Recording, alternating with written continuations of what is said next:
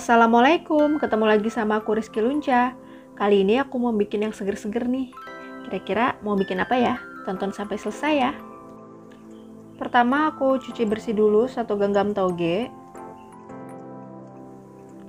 Kemudian satu buah mentimun, kita cuci bersih dulu.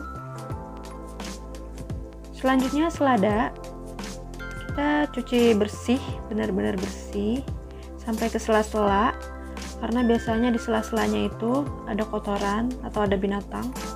Pastiin seladanya bersih ya. Maaf ini aku ngomongnya bisik-bisik takut anak aku bangun maklumin ya.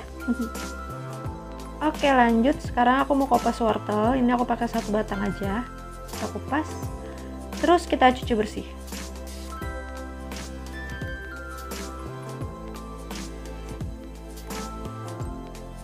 Dan yang terakhir aku mau cuci setengah bagian kol. Ini aku pakai kol yang ukuran sedang aku pakai setengahnya aja.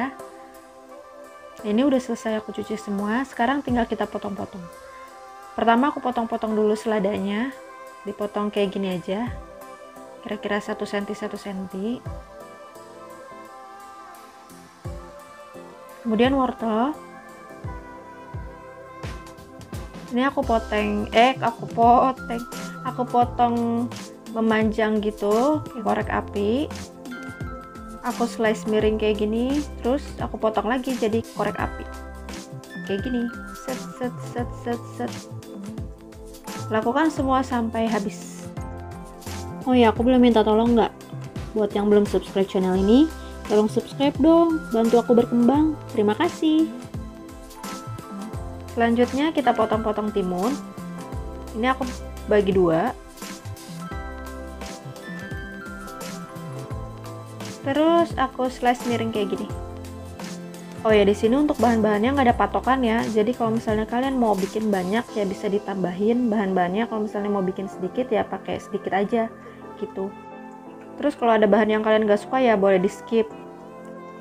Dan selanjutnya kita potong-potong kolnya, kita isi iris tipis aja kayak gini.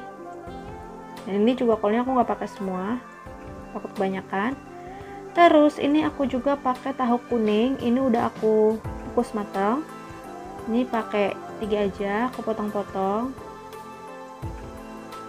dan ini jadinya tuh yang tadi aku potong-potong bahan yang tadi aku pakai itu jadinya sebaskom no lihat yang di pojokan. Jadinya segonono ini aku sekalian mau dibagi-bagi buat tetangga buat saudara. Berharap mereka suka dan akhirnya mereka pesen nanti kalau pengen lagi. Lah ujung-ujungnya jualan. Tapi emang itu strategi sih kalau misalnya kita mau coba jual makanan kita pertama bagi-bagi dulu. Nanti kalau misalnya mereka bilang enak tinggal kita bilang boleh pesen kok boleh dijualin juga ke tetangga tetangga sebelah. Ya kan? Oke lanjut lagi. Ini aku mau plating. Ini yang buat dimakan sendiri. Jadi aku mau bikin yang cantik. Ini aku susun sedemikian rupa. Ini pertama selada wortel timun terus kol. Kita susun aja di piring kayak gini satu-satu terus terakhir kita eh, enggak terakhir sih ini toge. Terus terakhir ini uh, si tahu kuning.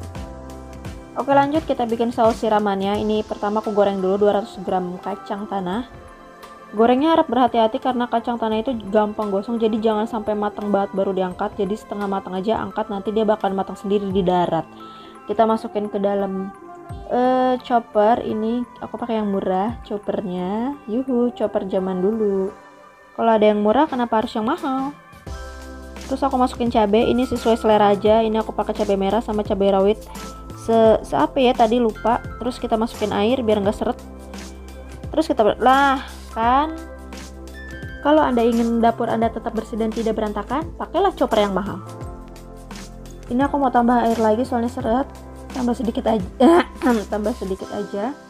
Kita blend lagi sampai benar-benar halus. Oke, udah selesai. Kita tuang ke dalam panci seperti ini. Kita tuang semua ke dalam panci dan kita tambahkan air. Ini aku pakai kurang lebih 400 ml air, tapi ini tergantung kalian ya. Ini bisa dikurangin airnya atau bisa ditambah. Jadi untuk kekentalannya, untuk konsentrasinya itu bisa disesuaikan dengan selera kalian. Kalau misalnya kalian pengen agak kental nih ya kurangin airnya. Kalau misalnya pengen agak cair nih kayak aku nih dibikin cair kayak gini soalnya mau dibagi-bagi biar kebagian gitu. Oke selanjutnya kita masukin garam gula. Sesuai selera juga sih sebenarnya nggak ada patokan karena nanti kalian bisa cobain bisa cicipin kurangnya apa. Selera orang kan beda-beda ya kalau misalnya kurang asin tambah garam kalau kurang manis tambah gula kalau kurang duit minta ke suami gitu. Aku masak sausnya sampai mendidih setelah itu matiin api baru dimasukin perasan jeruk lemon atau boleh diganti dengan cuka. Setelah itu diaduk-aduk kalau rasanya udah pas tinggal kita pindahin ke wadah seperti ini. Dan ini yang tadi udah aku susun rapi sayurannya aku tambahin kerupuk kuning. Ini tuh enak banget kalau pakai kerupuk kuning dan uh, kacang goreng. Seperti ini. Dan sausnya.